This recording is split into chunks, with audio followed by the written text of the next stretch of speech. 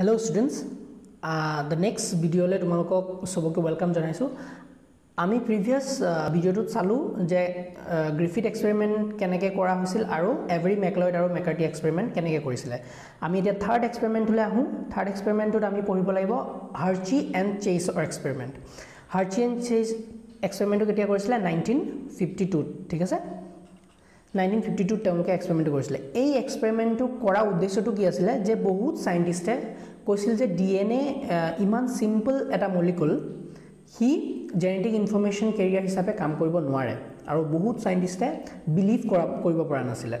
ঠিক আছে এই সেই কুৱেশ্যনটোৰ এনচাৰৰ বিচাৰিয়ে Hershey and Chase nineteen fifty টুত এই এক্সপেৰিমেণ্টটো ছেট আপ কৰিছিলে যাক নেকি আমি ফেমাছ ব্লেণ্ডাৰ এক্সপেৰিমেণ্ট বুলিও কওঁ কওঁ। ব্লেণ্ডাৰ এক্সপেৰিমেণ্ট মানে কি তেওঁলোকে কি কৰিছিলে জানানে? তেওঁলোকে এই মিক্সি যে আমাৰ এতিয়া আমি মিক্সিত কিবা কিবি পিছোঁ সেই মিক্সিটো ইউজ কৰিয়ে এই এক্সপেৰিমেণ্টটো ছেট আপ কৰিছিলে। কিমান ব্ৰিলিয়েণ্ট এটা এক্সপেৰিমেণ্ট এতিয়া ষ্টুডেণ্টছ এই এক্সপেৰিমেণ্টটোৰ কাৰণে হাৰ্চি এণ্ড চেইছে কি কৰিলে? বেক্টেৰিঅ' ফেজ ল'লে। বেক্টেৰিঅ' ফেজ এটা এনেকুৱা এটা ভাইৰাছ যি নেকি বেক্টেৰিয়াক খায়। সেইকাৰণে ইয়াৰ নাম বেক্টেৰিঅ' ফাজ বা বেক্টেৰিঅ' ফেজ এই বেক্টেৰিঅ' ফেজটোৰ দুটা কম্পনেণ্টহে থাকে। এই ওপৰৰ যোনটো বডি আঁকিলোঁ মই এতিয়া এই গোটেই বডিটো কিহেৰে গঠিত? অকল প্ৰটিনেৰে গঠিত। আৰু ইয়াৰ ভিতৰত এটা ডি এন এ কম্পনেণ্ট থাকে। Simple D N A component এটা থাকে। হ'ল এতিয়া বেক্টেৰিয়া ফেজটো অনলি দুটা কম্পনেণ্ট প্ৰটিন আৰু ডি এন এ কম্পনেণ্ট এতিয়া এই দুটা যদি আমি টেষ্টিং কৰিব পাৰোঁ তেতিয়া আমি ডাইৰেক্টলি গম পাম যে D N A as a carrier হিচাপে কাম কৰে নে প্ৰটিনে এজ এ কেৰিয়াৰ হিচাপে কাম কৰে? বিকজ বেলেগ বস্তুটো ইয়াত নাই কুৱেশ্যনে নাই বেলেগ কম্পনেণ্টৰ কথা ভাবিবলৈ। এতিয়া প্ৰথমতে আমি কি কৰিলোঁ এক্সপেৰিমেণ্ট নম্বৰ ওৱানত তেওঁলোকে কি কৰিলে? প্ৰটিনৰ কাৰণে টেষ্টিং কৰিলে। প্ৰটিনৰ কাৰণে টেষ্টিং কৰিবলৈ কি কৰিলে তেওঁলোকে? থাৰ্টি ফাইভ এছ ছালফাৰ এইটো এটা ৰেডিঅ' লেভেল ছালফাৰ হয়। এই ৰেডিঅ' লেভেল ছালফাৰক গোটেইখিনি কালচাৰ বনালে আৰু সেই ছালফাৰত তোমালোকৰ বেক্টেৰিঅ' ফেজবিলাক গ্ৰ' কৰিলে। গ্ৰ' কৰাৰ পিছত কি হ'ল? চব বেক্টেৰিঅ' ফেজে কি কৰিলে? ওপৰৰ প্ৰটিন কোডটো তেওঁলোকৰ কি হ'ল? ছালফাৰ হৈ গ'ল ৰেডিঅ' লেভেল হৈ গ'ল thirty five S thirty five S এতিয়া এইবিলাক যোনবিলাক বেক্টেৰিঅ' ফেজ দেখিছা সেইবিলাক ৰেডিঅ' লেভেল বেক্টেৰিঅ' ফেজ আৰু ইয়াৰ ৰেডিঅ' লেভেলিং ক'ত আছে? অকল বডিটোত ভিতৰত ডি এন এ লেভেল হৈছে নেকি? নাই হোৱা। ঠিক আছে এতিয়া এই ভাইৰাছবিলাকে বেক্টেৰিয়া কালচাৰক যেতিয়া গ্ৰ' কৰিলে বেক্টেৰিয়া কালচাৰৰ লগত যেতিয়া গ্ৰ' কৰিলে টেষ্ট টিউবত ছাপ'জ এই টেষ্ট টিউবটোত বেক্টেৰিয়া কালচাৰ আছে আৰু এই বেক্টেৰিয়া কালচাৰক কি কৰিলে? এই বেক্টেৰিঅ' ফেজবিলাক ৰেডিঅ' লেভেল বেক্টেৰিঅ' ফেজবিলাক দি দিলে দি দিয়াৰ পিছত কি হ'ল? এই বেক বেক্টেৰিঅ' ফেজৰ পৰা ডি এন এবিলাক বেক্টেৰিয়ালৈ সোমাই গ'ল হয়নে? কিন্তু যা গোটেই প্ৰটিন যোনটো বডি ষ্ট্ৰাক বডিবিলাক আছিলে প্ৰটিনবিলাক সেই ওপৰতে থাকিলে। মানে বেক্টেৰিয়া চেলৰ বাহিৰত থাকিলে আৰু বেক্টেৰিয়া চেলৰ ভিতৰলৈ কি সোমাই গ'ল? ডি এন এটো সোমাই গ'ল। এতিয়া ডি এন এটো আমি লেভেলিং কৰিছিলোঁ নেকি? নাই কৰা। অকল প্ৰটিন কোডটো কৰিছিলোঁ। হয়নে? এতিয়া এই চলিউশ্যনখিনি যেতিয়া ব্লেণ্ডাৰ মিক্সাৰ গ্ৰাইণ্ডাৰ বা ব্লেণ্ডাৰ বা চেণ্ট্ৰিফিউজত তেওঁলোকে কি কৰিলে? যেতিয়া চেণ্ট্ৰিফিউজ কৰিলে চেণ্ট্ৰিফিউজ মেচিনত যেতিয়া চেণ্ট্ৰিফিউজ কৰিলে তেতিয়াতো চেণ্ট্ৰিফিউজ নাছিলে। তেতিয়া ব্লেণ্ডাৰতে যেতিয়া তেওঁলোকে চেণ্ট্ৰিফিউজ কৰিলে কৰাৰ পিছত তেওঁলোকে কি পালে যে বেক্টেৰিয়া কালচাৰবিলাক বেক্টেৰিয়া পেলেট বেক্টেৰিয়াটোতো হেভি সেইকাৰণে তললৈ ছেটেল হৈ যায়। কি কয় টেষ্ট টিউবৰ তললত ছেটেল হৈ যায়। সেইকাৰণে তাত পালে যে বেক্টেৰিয়া যোনটো পেলেট আছে পেলেটত একো ৰেডিঅ' লেভেল নাই। মানে ডি এন এ যদি সোমাইছেও তেতিয়া radio' level D N A যিহেতু নাছিলে ৰেডিঅ' লেভেল দেখুওৱা নাই।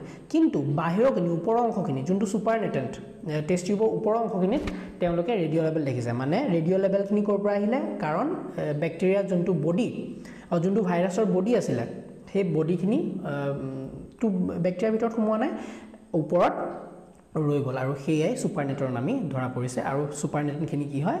ৰেডিঅ' লেভেল হয় বুজি পালা? এতিয়া নেক্সট এক্সপেৰিমেণ্টটো কি কৰিলে? নেক্সট এক্সপেৰিমেণ্টত আমি তেওঁলোকে কি কৰিছিলে? ডি এন এৰ কাৰণে টেষ্টিং কৰিলে।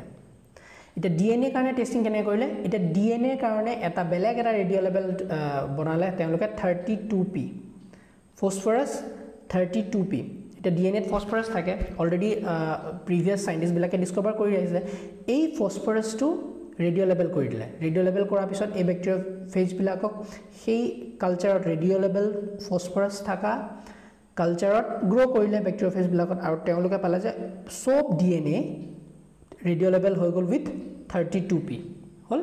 এতিয়া একে ছেইম ধৰণে কালচাৰ ল'লে কালচাৰত কি কৰিলে তেওঁলোকে? বেক্টেৰিয়াটো আছে এই ৰেডিঅ' লেভেল ফেজখিনি দি দিলে বেক্টেৰিয়া ফেজখিনি দি দিলে।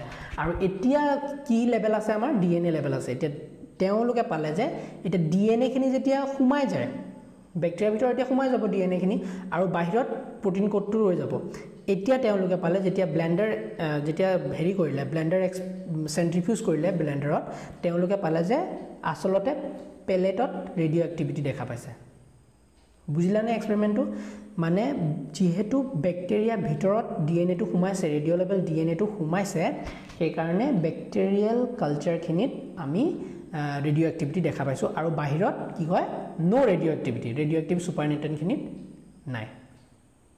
তো এইটো এক্সপেৰিমেণ্টৰ পৰা প্ৰুফ হৈ গ'ল যে আচলতে এটা অৰ্গেনিজিমৰ পৰা আন এটা অৰ্গেনিজিমলৈ যোনটো বস্তু ট্ৰান্সফাৰ হয় সেইটো আচলতে ডি এন এ আৰু এই এক্সপেৰিমেণ্টটোৱে সেইটো সাব্যস্ত কৰিলে আৰু এই হাৰ্চি আৰু চিএছে কি কনক্লুজন দিলে যে protein is not the genetic material D N A is the genetic material হ'ল। এতিয়া নেক্সট এক্সপেৰিমেণ্টটো চাওঁ কাৰ ফ্ৰেংকেল আৰু কণ্ড্ৰেড এক্সপেৰিমেণ্ট আমি এতিয়া চাওঁ ফাইনেল এক্সপেৰিমেণ্টটো কাৰ এক্সপেৰিমেণ্ট ফ্ৰেংকেল আৰু কণ্ড্ৰেড এক্সপেৰিমেণ্ট কেতিয়া কৰিছিলে? নাইনটিন ফিফটি ছেভেন এতিয়া এই এক্সপেৰিমেণ্টটোত তেওঁলোকে কি দেখুৱালে যে আৰ এন ইউ কেতিয়াবা জেনেটিক মেটেৰিয়েল হিচাপে কাম কৰিব পাৰে। এতিয়ালৈকে আমি কি দেখি আহিলোঁ? প্ৰিভিয়াছ তিনিওটা এক্সপেৰিমেণ্টৰ পৰা যে D N A as a genetic material confirm হৈ গ'ল। বাট এওঁ ফ্ৰেংকেল আৰু কণ্ড্ৰেটে কি দেখুৱালে যে আৰ এন ইউ কেতিয়াবা কেতিয়াবা জেনেটিক মেটেৰিয়েল হিচাপে কাম কৰিব পাৰে। আৰু এইটো ক'ত ক'ত হয়? স্মলাৰ অৰ্গেনিজম বা চিম্পল অৰ্গেনিজম ভাইৰাছ বা বেক্টেৰিয়া হিচাপত। এই কথাটো প্ৰুফ কৰিবলৈ তেওঁলোকে কি কৰিছিলে? টবাকো মজাইক ভাইৰাছত কাম কৰিছিলে। টবাকো মজাইক ভাইৰাছৰ এটা ষ্ট্ৰেইন এ ল'লে তেওঁলোকে আৰু এটা ষ্ট্ৰেইন বি ল'লে।